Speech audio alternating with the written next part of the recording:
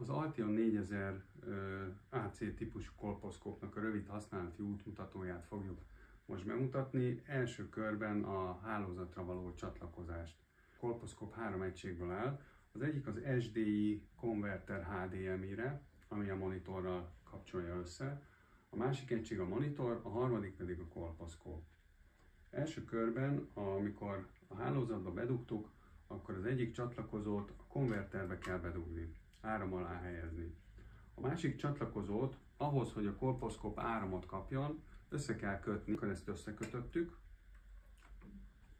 akkor megjelenik a kép a monitornak a kijelzőjén, azt követően, hogy egyszer megnyomtuk a konverteren az OUT SV gombot.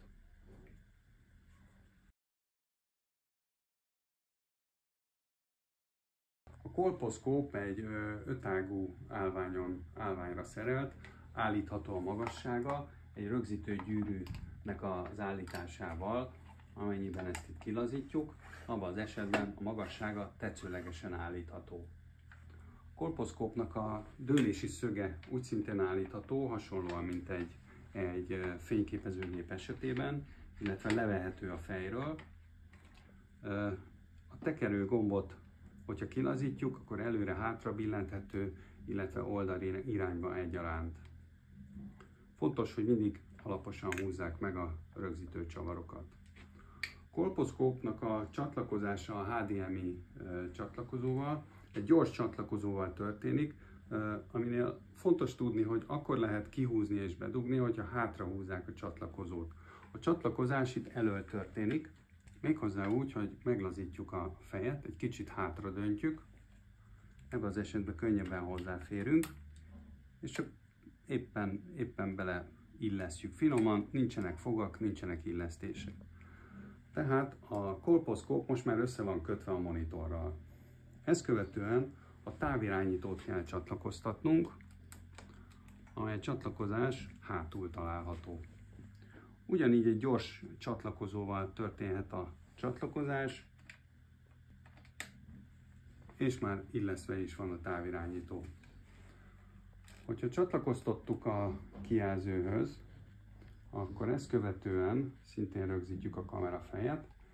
A kamera fejen a kis kijelzőn szintén a zoom állítható, azaz közelíteni és távolítani lehet az adott területet, vagy vizsgálandó területet.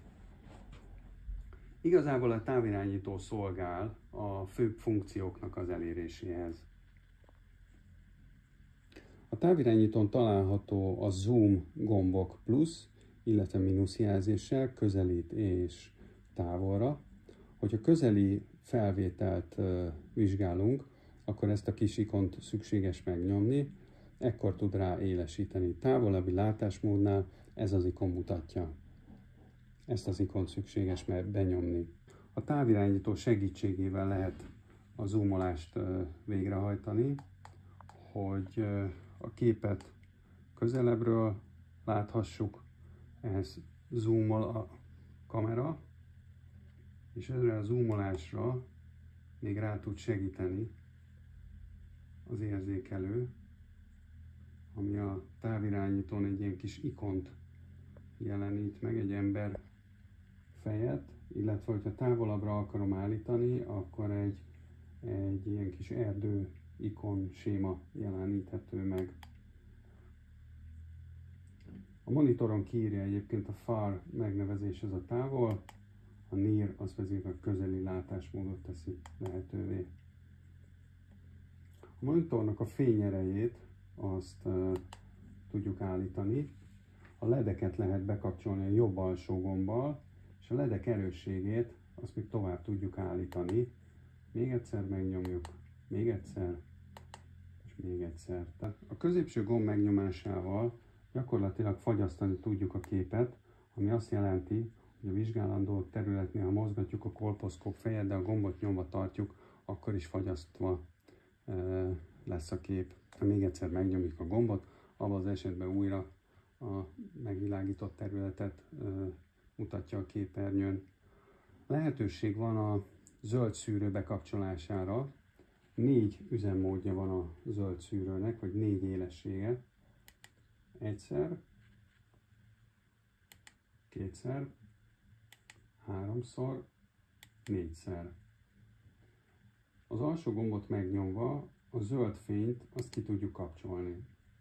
A távirányítón fent bal és jobb oldalt elhelyezkedő két gomb, ez csak abban az esetben szükséges használni, hogyha a kolposzkóp nem közvetlenül a monitorhoz van kapcsolva, hanem számítógéphez. Ebben az esetben ezt a gét gombot nem szükséges használnia.